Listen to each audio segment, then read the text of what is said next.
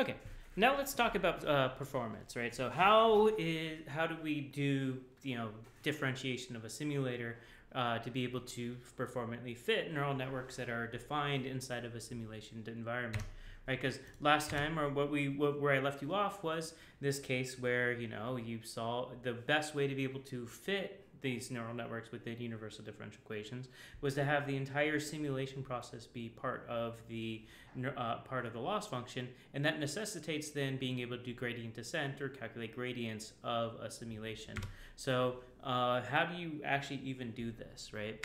Turns out that there's not one way to do this. There's an entire list of different ways that we call different adjoints or different sensitivity methods.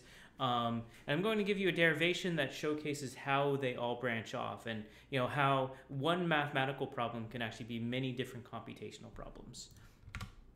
So okay, so uh, so let's do this. Uh, so you know um, how do you actually calculate, how do you write down the formula for the derivative of the solution of a differential equation with respect to some parameters? I'm going to give a very quick overview of this derivation. I do a much longer overview in my 18337 uh, parallel computing and scientific machine learning course um, that was given at MIT. I have all those videos online, so I'll refer back to those. But uh, this is this is kind of a, a succinct uh, uh way of, of describing this. So um, so take take uh, the di differential equation u prime equals f, right? What we want to do is we want to define a cost function, capital G, over the solution of the differential equation.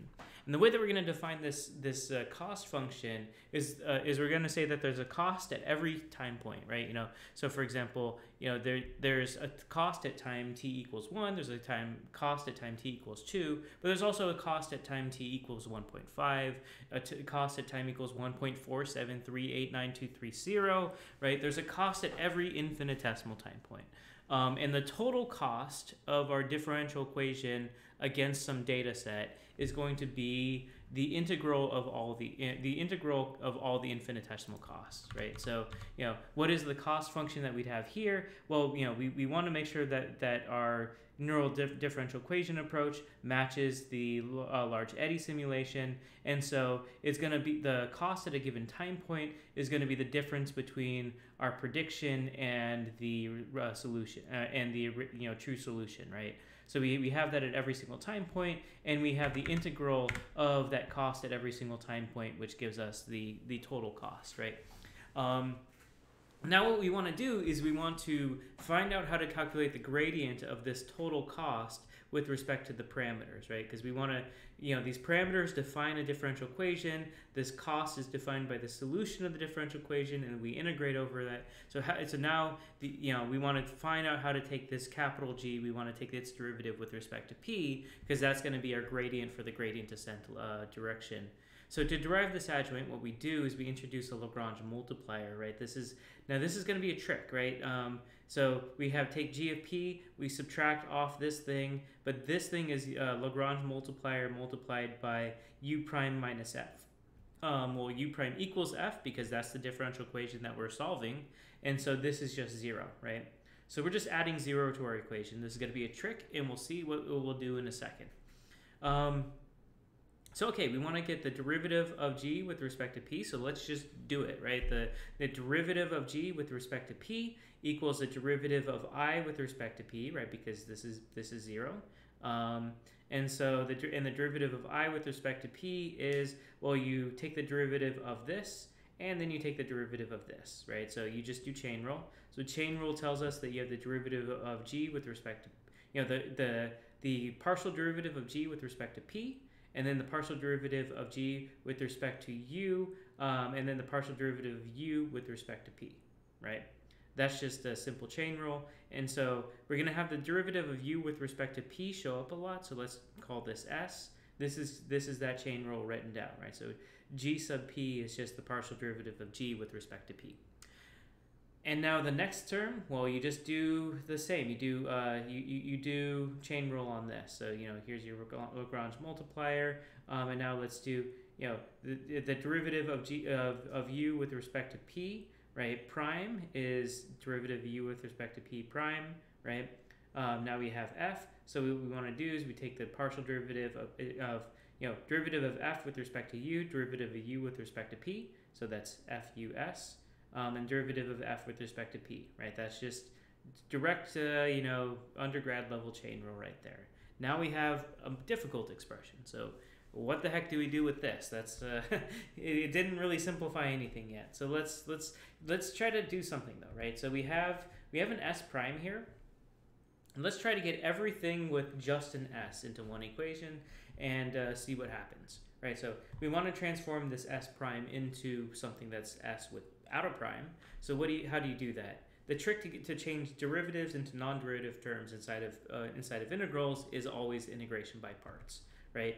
Um, so you know we do integration by parts. Uh, uh, uh, we do integration by parts. You know, choosing s as the thing that's a derivative, and so you you know then so if you do that, then you you get it. You know, you flip which term is on the derivative. So you have you know you so we have this term which which equals this term, right? We just uh, distributed to do this, right? Um, and now when we do integration by parts, we just flip what the, what the derivative is, right? So we, we flip the derivative and then we have the evaluation on the boundaries. And this one I haven't touched yet. Um, so okay, so this is just simple integration by parts. Um, and now let's rearrange the expressions, right? So, so you know, that was just how to what to do about this term, how to change s prime into s. So now let's rearrange. You, you plug this in here, and now here's what you get, right? So you, this whole term now all just has a multiplied by s. Now this is where the trick comes in, right? So um, remember that that we just had this lambda lambda star, the Lagrange multiplier is just completely undefined, right?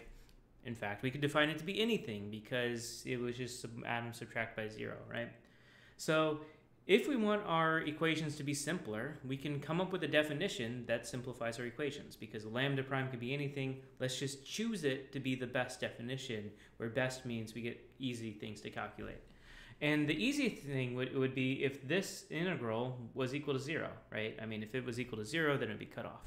And if for that to be true, what we would need is that lambda star prime plus lambda star fu minus gu would have to be equal to zero, right? So let's define lambda such that lambda star uh, prime equals minus f. You know, this is this is just well, this is this equation. Uh, you you take the adjoint to both sides, right? Um, it's the same exact equation here. So we're just saying if lambda star equals this, then uh, then this then the, this term in the integral is equal to zero, and therefore this integral is, is zero, right? So that's our trick for the adjoint. So we choose that, right? Um, but we also get to choose its initial condition, right? And well, here's a term that we that is difficult, right? Now let's look at the two boundary terms here, right? So um, remember that s is the derivative. S is the derivative of the solution of the ODE with respect to the parameters at and and so you know we have two boundaries here. So the derivative of the solution with respect to the parameters at time zero, well, you know, it's you, your solu- the solution to your ODE is still equal to your initial condition, right? Um, so I mean, if your initial condition is dependent on parameters, there's a value here. But if your initial condition is considered something that's fixed, like a fixed value, then this term is equal to zero, right? Because this is the derivative of the solution of your ODE at the initial condition. Um, it's just going to be equal to your initial condition. So this, you know, when you if you plug in t zero here, that term is equal to zero. If you plug in the capital T term, well, that's non-zero.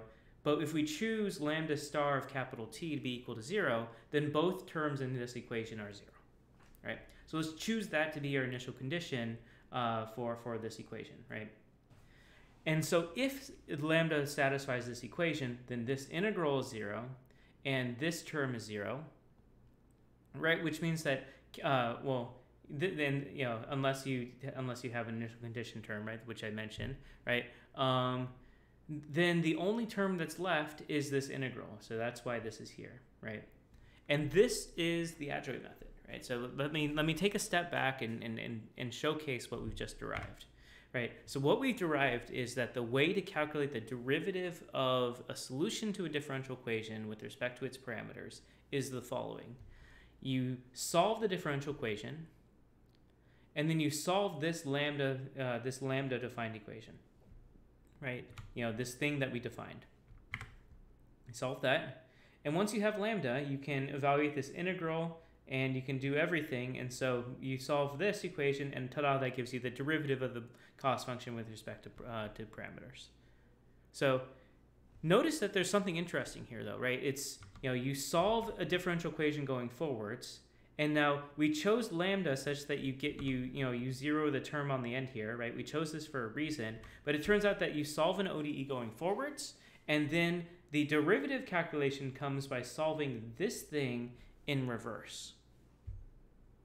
Right, so it's almost like continuous time back propagation through time, right? It's this is back propagation of the ODE, this solve right here. It's a special ODE that you solve in reverse that gives you the derivative. Um, I actually will make this even more concrete in a second. So, okay, so this is the adjoint to an ODE, right? That's all it is. Um, well, there's a there's a few more details, right? So this mathematically holds, but if I was to ask you to implement this into a computer, right, you'd probably start running into issues with, okay, how are these things truly defined? So let, us look at this equation, right? Uh, it turns out that you know if you if you actually put the of t everywhere in the equations, right, then what you'll see is that you need to take the the Jacobian of f with respect to u um, at a given time point. So you solve an ODE going forwards, but when you go in reverse, you need to be able to take uh, the, the Jacobian of f with respect to u at the time points that you want for the integration of lambda, lambda right? No, and you know, like an ODE integration tends to be adaptive, right? So it takes some steps to calculate u, and it takes different steps to calculate lambda, lambda but on the on those steps where it's calculating lambda, it needs to know the value of u to be able to take the, the Jacobian of f with respect to u at that time point, right? So it needs to know u. It basically what it means is that you need to somehow remember the entire continuous trajectory of u from the forward pass because you need it for this derivative calculation the back pass. So how do you do it? Well, there's a few different choices that you get to make. One choice is, you know, if you if you solve you know, there's this analytical relationship that if you solve u prime equals f going forwards and you solve u prime equals minus f going backwards, then you, you end up on the same trajectory with no numerical error. I'll get to that in a second. Right, so um, so you know what you can do is you can sign you, you can basically solve this equation backwards at the same time as you solve the lambda equation backwards, and that would give you all the values of u that you need. Um, so that's a memory efficient way. The other thing that you can do is you can store the entire U of t going forwards and you put interpolation on it. And so then anytime you're, when you're solving backwards, you can ask it, what is U of t? And you just query that value. But of course, that requires that you store an entire you store an entire differential equation solve uh, going forwards, which could be memory expensive. Um, other thing that you can do is something called checkpointing, right? So you can actually you can solve an ODE going forwards, and then you save a few points, and as you go backwards, you resolve in that area, and then you only hold on to the interpolation for that for that thing. It's kind of a mixture of the two approaches, and it's kind of like a less memory intensive way of doing it. And so, you know, you can see that there's this trade-off between memory and compute power performance that becomes involved when you're when you're looking at the different options here. Um, now, the next thing is right. You know, let's actually look at this equation a little bit more. Um, you know, if there was a mass matrix here, then there would be a mass matrix here, but we can, we can ignore the mass matrix for, for, for this. Um, but what, what this this Jacobian that you're actually calculating is actually a fairly interesting term. It's the Jacobian uh, of f with respect to u transpose times times the the uh, vector lambda, right? And it turns out that Jacobian vector transpose operations are actually the intrinsic operation of reverse mode automatic differentiation right? So if you're to do reverse mode automatic, if you're to call a reverse mode automatic differentiation engine and you tell it to push forward u and to pull back the vector lambda, it will calculate uh, df du star uh, lambda, right? That's what it does. It calculates the Jacobian transpose times a vector.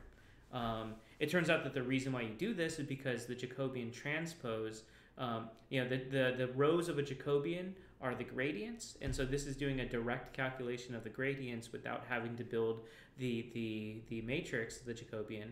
But because this is the, the intrinsic, um, you can directly use a reverse mode automatic differentiation trick to calculate this term without ever computing the Jacobian. Um, if you want more information on this, you you'll have to go through the lectures on the 18337 uh, parallel computing and scientific machine learning course at MIT, where we go into a lot of detail about how reverse mode automatic differentiation is, is implemented um, and, and the mathematics behind it. That will describe this in a lot more detail. But for now, if, if you don't get that part, just trust me that there's an automatic differentiation trick that lets you compute Jacobian transpose times a vector without building the Jacobian. And so there's many different ways to be able to just implement the adjoint equation, right? So you can do numerical differentiation to build a Jacobian, then you transpose it, then you multiply it by vector. You can do forward mode automatic differentiation to build a Jacobian, transpose it, multiply by a vector. Or you can use reverse mode automatic differentiation and do this trick and you will take instead of having to do an O of n operation, you could turn it into an O of one operation. Um, o where where you know the, the the polynomial is the number of columns in in the in the Jacobian here. So this is a fairly nice trick uh, to know if for, for this, and this is one of these things where some of the some of the uh, software is compatible with doing these tricks, and some of these software are not compatible with doing it. And this is somewhere a place where you'll see orders of magnitude performance difference. Um, but also, you know, I, I mentioned that when, when we do this, right, you know, this looks a lot like reverse mode automatic differentiation, uh, you know, uh, or back propagation through time. Well, now you know that, you know, this is solving an ODE forwards, and then it's solving an ODE in reverse, where the ODE that you're solving in reverse is reverse mode automatic differentiation of the forward solve. you know, at every single time point. It's defined by u uh, lambda prime equals call reverse mode AD engine um, at that time point right? So, I mean, the, the, it's not even just an analogy anymore. This is you know the this is the continuous time version of back propagation through time. Um, so okay, and, and so you do want to try to make use of any reverse mode AD tricks that you can then in the equations that show up here. But okay, uh, how do you actually calculate, you know, when, when I say that you calculate this integral, right, well, you know, this requires knowing lambda star of t, and so, um, you know, what do you do to calculate lambda star of t? And um, one thing that you can do is you just store the entirety of lambda star, and then you do do the integral, right? You use Gaussian quadrature or something. Um, that's memory intensive, though that can be a fast way of doing it. The other thing that you can do is you can you can use a trick, right? So you can use ODE solvers to solve integrals. Uh, so so uh, one way to solve, do that is you know so if you if you actually write out the Riemann approximation to an integral, right? You know, so you know you have the integral of, of, of some function f, right? Then you have you know you the, you know the Riemann approximation or the trapezoidal rule is going to be you know one half f1 or f of t zero, you know, and then you have uh, f of t1, f plus f of t2 plus f of t3 plus f of t4, etc. Right? If you write this out and then you look at what happens if you run Euler's method on a ODE on an ODE defined by the integrand. It turns out that they're the same thing. Um, and so if you solve an ODE with the initial condition equal to zero, and the right hand side of the ODE is only dependent on the independent variable, right? Notice that this uh, this ODE does not have mu on the right hand side, right? That's what I mean. So if your ODE is actually not dependent on the dependent variable, um, then and your initial condition is equal to zero, then solving that ODE is equivalent to solving an integral. And so I, you know, go go work that out on, on your own time. It's fairly easy, quick to prove. But this gives you another trick, right? You can solve this ODE. Um, you solve this ODE in reverse, and therefore you get this integral without having the solution to this integral without having to explicitly calculate an integral. Um, so, uh, you know, so I gave you basically uh, three different ways to do three different steps. And so, you know, you can come up with a combinatorics. There's like 27 ways to then implement this adjoint equation. And so which ones are good, right, is a, is a, is a question that you need to always ask when you do numerical analysis, right? Um, just because you have a method doesn't necessarily mean it's a good method. And, and so, and every combination here is a mathematically valid way to calculate things. But the issue is that a lot of these are not numerically valid ways of doing it. So um, to pick on somebody, uh, let's take a look at the the method that was come up in the neural ordinary differential equations paper. Right there, they're for doing you know uh, putting neural networks inside of of ordinary differential equations to do things like image classification and you know MNIST. Right, very different application, but it's still the same idea that they needed to take derivatives of an ODE solution with respect to parameters. And to do that, what they did was they said, well, we, we solved this ODE in reverse. And what, what you know how do you how do you understand that? Well, this is if you if you go to this right, it says you solve this equation. You have to solve this equation in reverse, but you need to know what, what u is when you go backwards, and so you can append this ODE to what you solve backwards, and you can append this ODE to what you solve backwards to get the integral out. And so if you have if you solve all three of those ODEs simultaneously, you get the you get the derivative of the solution with respect to parameters, right? Um, and so that sounds great because you don't need to store anything in memory. It's well, it's O of one in memory, so you know it sounds like it's a good idea. But if we dig into it, we can actually find a lot of flaws with it. So here, for example, um, is an example where you either have the the ODE that you solve with your method, either that will will di uh, diverge to infinity, or the gradient calculation will diverge to infinity. So it's exponentially, you know, unconditional, un unstable method. Um, so how, how do you come up with the, this this counterexample? So it actually comes from one of the simplest partial differential equations, the advection equation, right? So the advection equation is du dt equal uh, plus uh, d you know a du dx equals zero, and it's just a wave moving with constant velocity in one direction, right? And if you've ever seen this before in your, you know, undergrad physics classes or something, um, then you will know that when you discretize this equation, right, you have to, you know, you can keep the, the du dt intact, right, and so that way you get an ODE, but you have to choose a direction to differentiate, to, to discretize the operator for du dx. Um, and so you either do, you know, you either do forward minus reverse divided by delta x, or you do, uh, you know, forward minus middle divided by delta x, or you do middle minus uh, back divided by delta x, right? Either either of these differences is going to give you the uh, you know approximation to du dx at this time point, right? So you have to choose one, but you can't just choose it arbitrarily, right? And and if you choose the wrong if you choose the wrong choice for this discretization, you actually get unconditional instability and you know, you use a von Neumann proof in your undergrad course to prove this, but I think that there's a much more intuitive way to understand it.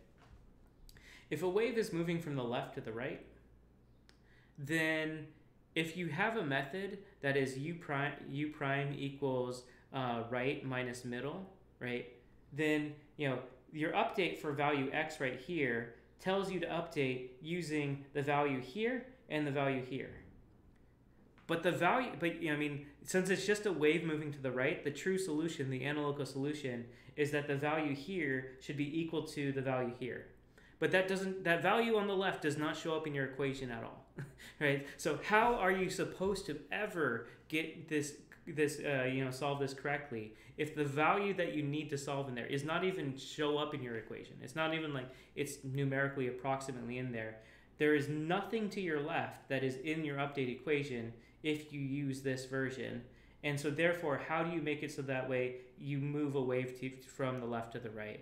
That's just physically impossible, mathematically impossible. Right? You have no information from the left, and so your solution is not cannot do this equation properly. Which is why you know if you so if you choose to do this minus this divided by delta x, when uh, when a is equal is uh, is less than zero, then the wave moves to the right, and this, this discretization of your differential equation gives you an unconditionally unstable discretization.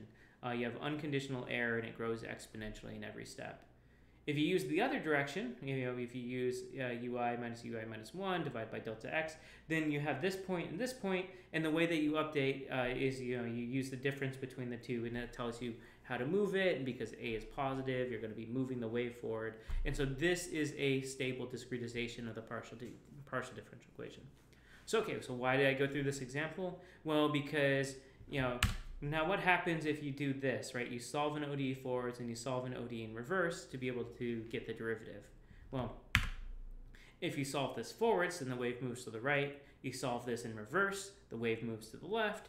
And so if you just did, you know, u prime equals f, and then you did u prime equals minus f to be able to flip it, well, you just flip the direction of this wave, and so if you use the same uh, differential equation, then you get an unconditional instability. Right? So you either have to have an unconditional instability in your forward solve, or you have an unconditional instability in your reverse solve.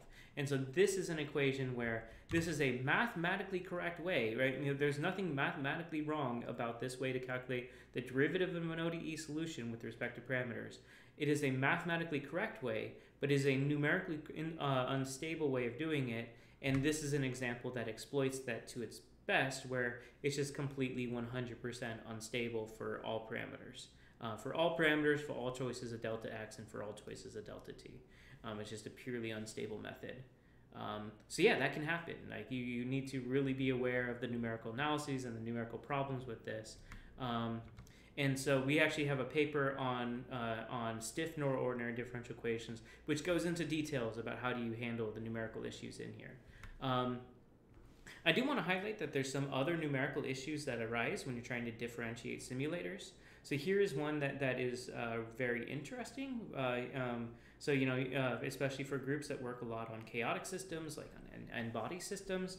So, um, if you try to take the derivative of the long-term behavior of an n-body system, um, you know, of a chaotic system, your derivative will actually diverge to infinity.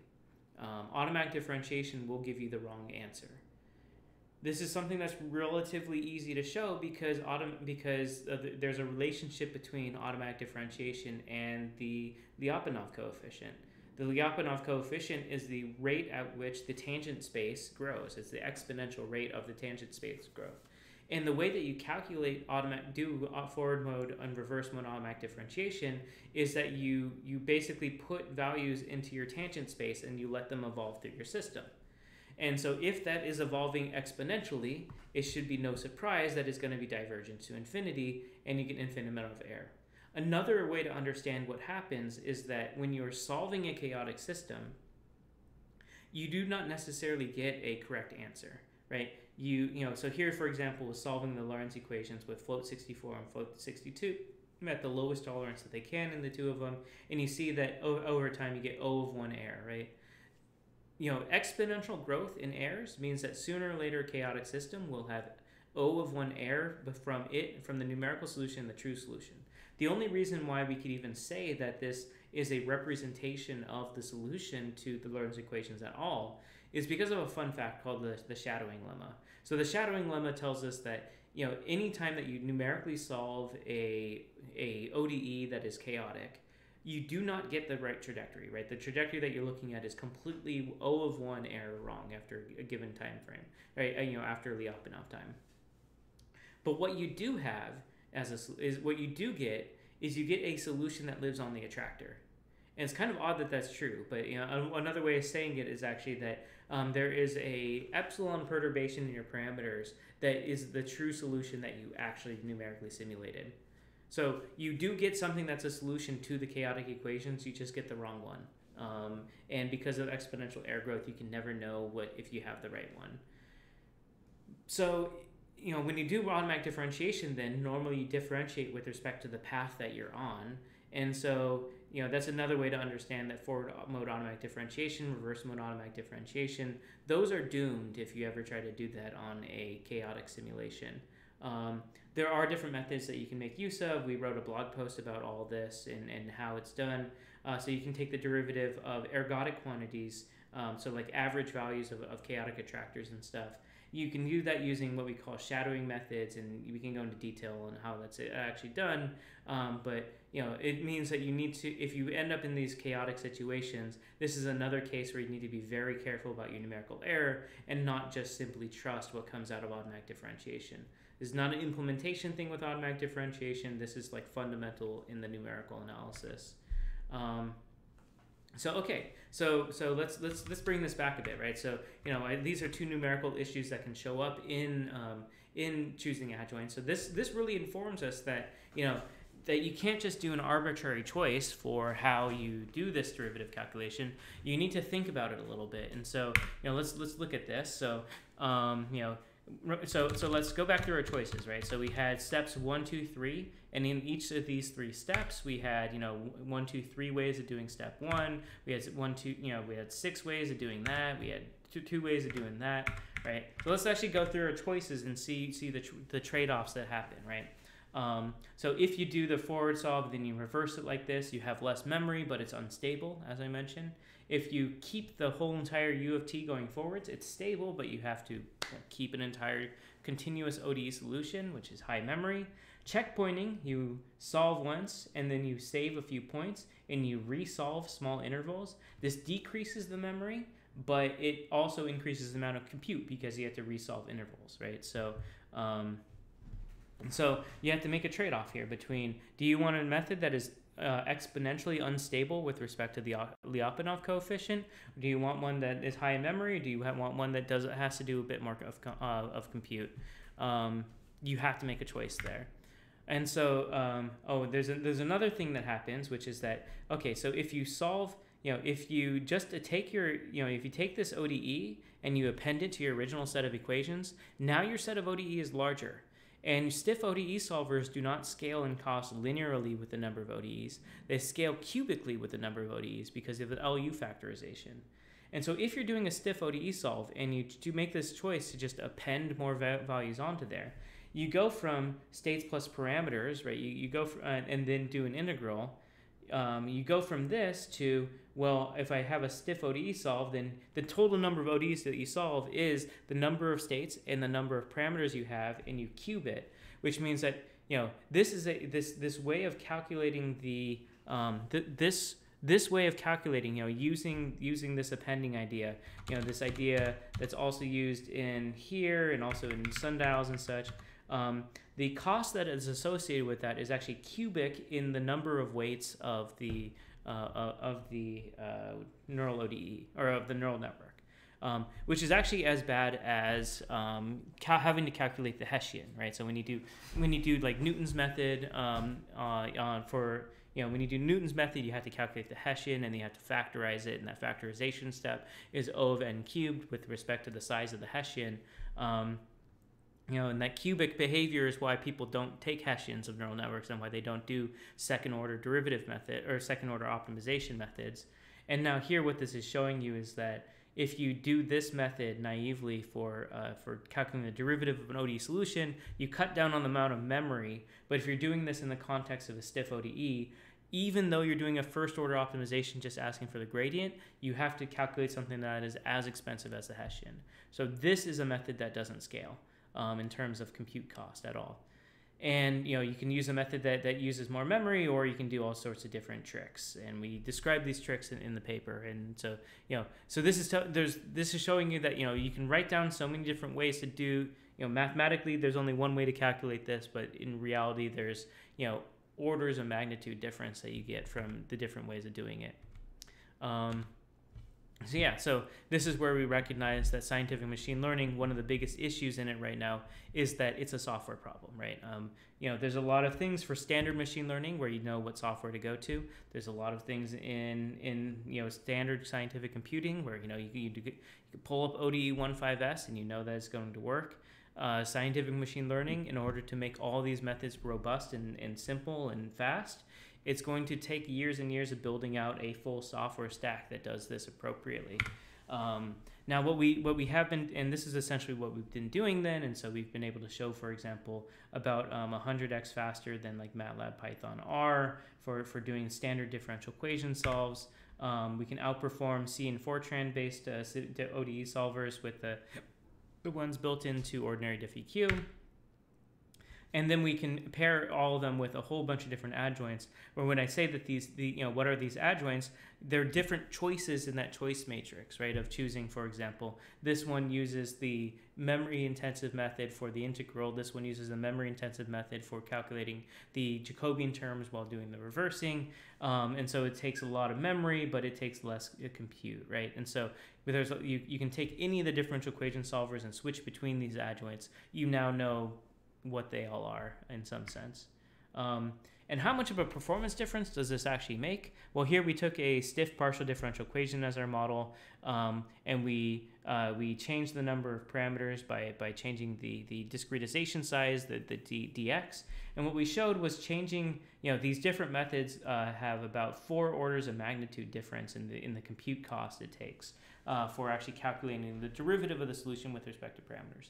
And so for, you know, with the the methods that are unique to the Julia tools are these ones which are here compared to you know ones that are you know a few orders of magnitude higher. And so this tells you that it's not just like a it's not just a little detail right? You know it's not like you can just choose any of these here and get to the something simple similar right? They are a very fundamental and very large trade-off in compute and memory performance.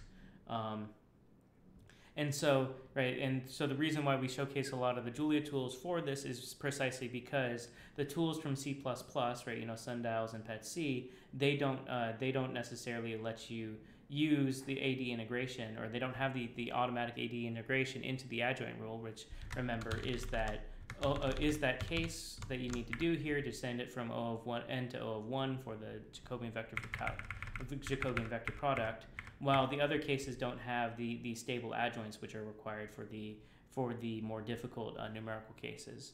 Um, so yeah. So so uh, how do uh, how, so I guess one question that you then ask is uh, what what how do you compare between the methods for scientific machine learning then right what um, what you know I showed you PINNs and I showed you un- universal differential equations PINNs take you know 15 minutes to explain uh, you know, differentiable simulation takes all the rest of the time. Uh, why would you ever do the second one? And you know, I remember that I mentioned that performance is one of the issues with PINNs. Um, so if you want to do, let's say you want to do this inverse problem on the Lorenz equation, right? This is actually pulled directly from the tutorial that comes with this physics-informed neural network library, DeepXDE, from the developers of the method. Um, you know, we, we pull their example and it and a PINN will take 362 seconds to solve, you know, to learn the parameters of this Lorenz equation on t and 0, 3, right? Now we do differentiable simulation, right? We we take our simulator, you solve it, you check the loss against data, you you do gradient descent on that, and you see that it solves in 0.03 seconds, right? Like, this is a 10,000x difference. You can go example to example and example, keep on showing this. Um, PINNs are slow. PINNs are not just slow. PINNs are really slow. You can go go look on Twitter. A lot of people who you know are getting mad about how slow PINNs are. Um, yeah, so differentiable simulation uh, techniques they make use a lot of extra tools from numerical analysis and such, and it shows off in the end. It shows off in performance. Uh, now you could even go to some of the papers, right? So there are some papers out there that will that will say, hey, you know, some of these neural network solvers uh, take a fraction of compute cost needed by classical numerical solvers to do the solve, right? Um, and so you you can take a look at the graph, right? So here's you know the DeepONet in comparison to num- classical numerical solver. Turns out that this example is uh, that they use for this for this case is one of the tutorials for the Julia simulation library. So what if you don't just use you know standard SciPy, but you use a true differentiable simulator um, that can do this you know learning of differential equations and stuff. Um, it turns out that if you know if you copy paste the, the the code from the from the tutorial, you'll see that it solves all thousand trajectories that they asked for in 0.06 seconds, which is all the way down here, not even on the chart, right? So um, so you know basically what this shows is that you know a DeepONet trained with you know Tesla V100 CPUs is about 7,000 times slower than using a you know just a standard differential equation solver, which kind of reverses this this this point. Um, and you know you might have seen similar things said about Fourier neural operators, where they had a paper come out and MC Hammer tweeted about it. They said so much faster than numerical solvers, and people today still aren't using it because numerical solvers are tens of thousands of times faster. Um, and so I think that the last thing that I want to do uh, to talk about is, you know, how how come you have some people showcase a result like this, um, even though an optimized solver ends up like you know beating it by a lot. So I think you might have gotten one piece of it, right? One piece of it is that doing the wrong thing with a classical numerical solver will, will change your results by a thousand, ten thousand times. And so your performance, your runtime, right, is heavily dependent on how good you implement a classical method. Um, you know, the classical numerical solvers with adjoint methods and such are very, very, very implementation dependent. Um, and so is this do you think that this difference that people are doing and seeing you know for PINNs outperforming some classical method could it be, be because of just bad classical implementations matching up against a good ma- machine learning implementation Uh, yes, that, that is the case. But why would people be using a good machine learning implementation against a, a bad classical implementation? I think this is something that people haven't really dug too much into, but it's actually really easy to explain. Um, I actually got in contact with the author of this paper, and and their response is actually what uh, what made me look into this. Um, so, so um, if you look at what happens when, when you look at these, uh, you know, simulation codes that are written in like C, Fortran, numer- you know, classically, and they have all these sparse matrix operations, and, and you know, so you use a bunch of sparse matrix operations. You're writing out ODEs and nonlinear equations. These kinds of codes are dominated by O of 1 and O of n operations. What I mean by that is they're dominated by matrix vector products and they're dominated by vect- uh, by loops over vectors, right? You know, like broadcast operations, map operations. Um, for these kinds of operations, handling mutation and memory management uh, appropriately can change your performance by an order of magnitude. Doing manual SIMD operations and such will do half an order of magnitude. There's so many different things that matter for these kinds of codes that are doing O of n and O of n cubed operations. But when you go to machine learning, every single step of, of applying another layer in machine learning is just a matrix multiplication. Matrix multiplication is O of n cubed.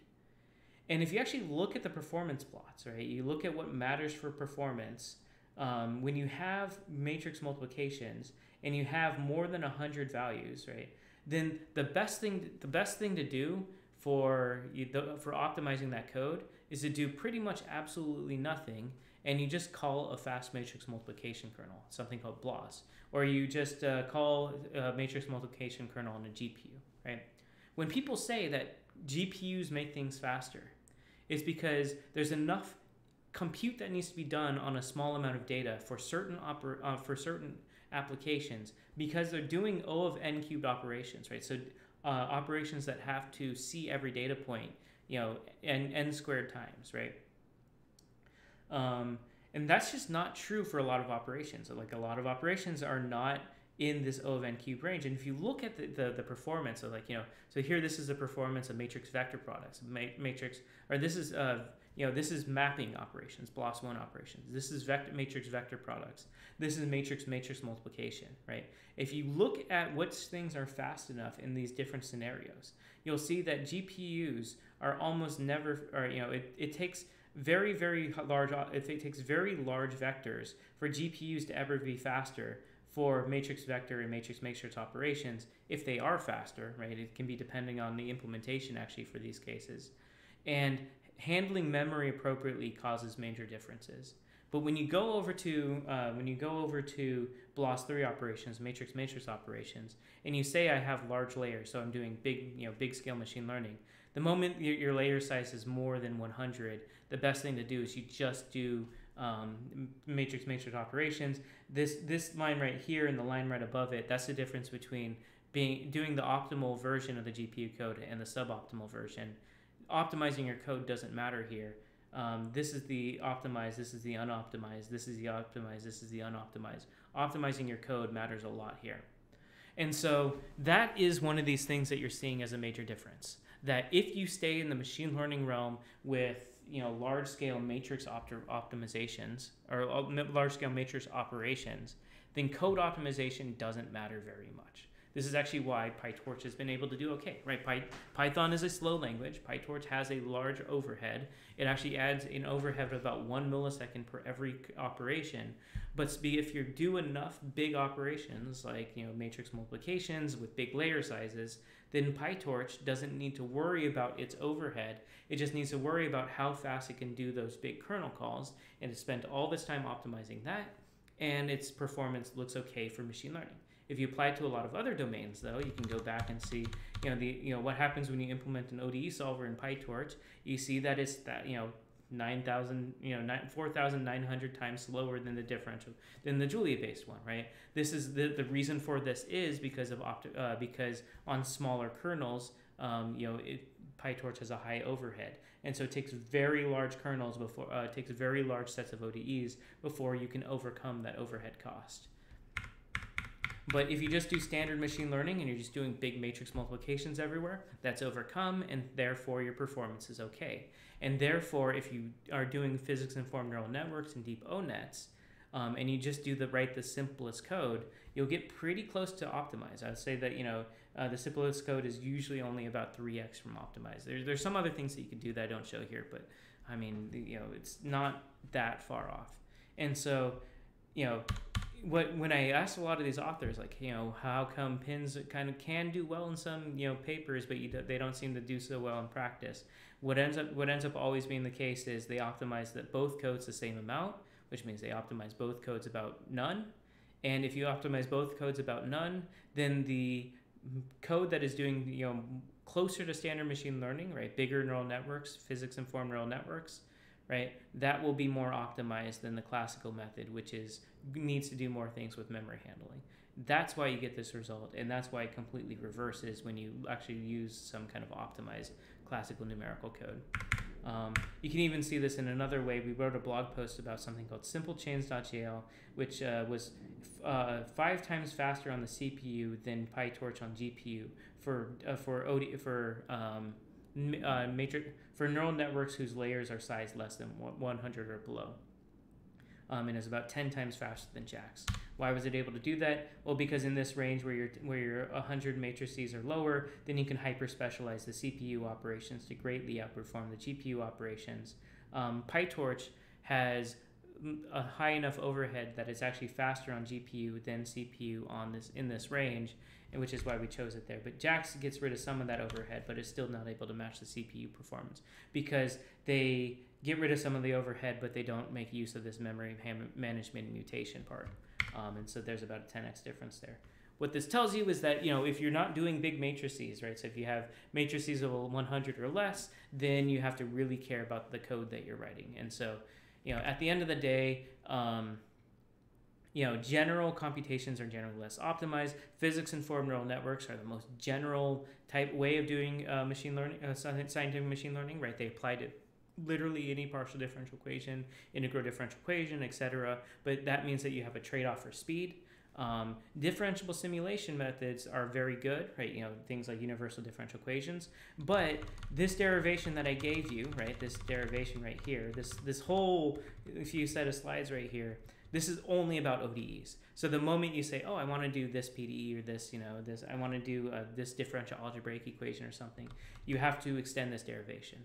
And so um, so the downside to the differentiable simulation approaches is that you need to create good differentials. You need to create a good differentiable simulator for every single case that shows up, but that differentiable simulator will almost certainly outperform uh, physics-informed neural network kinds of approaches by orders of magnitude if, if you put the time and work in to do that.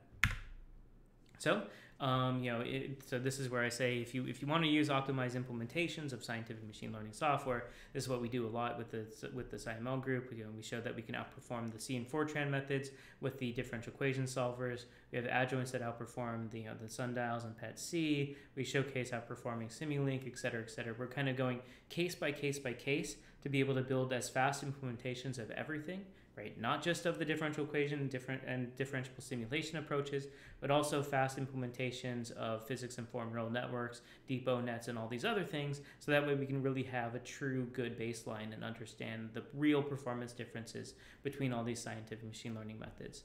Um, this is all done out in the open, so if anyone is interested in in uh, digging more into all these performance details and uh, and joining the work that we do, you know, just get in touch and we can we can talk.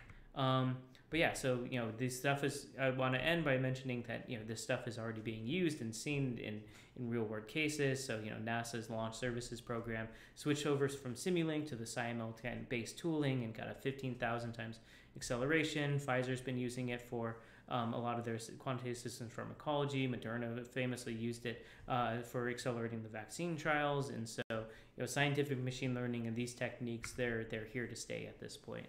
Um, so yeah, so you'll you'll be having to do a lab for this. I think that for the lab, it's just going to be a very simple case of run a simulator and be able to train a neural network inside the simulator. So you have to work through some of the things about how do you you know how do you do deal with the automatic differentiation and such, and and you know get to explore that a little bit. but hopefully this gives you a nice overview of what scientific machine learning is, how it's used, and uh, some of the, some of the mathematical problems and interesting you know numerical analysis things that come up when uh, in this field. Um, you know, that's a very very brief overview of the mathematical problems, but hopefully you know that at least uh, sparks your interest, or at least it shows you you know what are the kinds of things that people are thinking about for improving scientific machine learning, and how does that relate to machine learning, right? You know people just do straight automatic differentiation in machine learning. Well, this is how you know scientific machine learning is taking the automatic differentiation, but taking differential equation ideas and really merging the two together.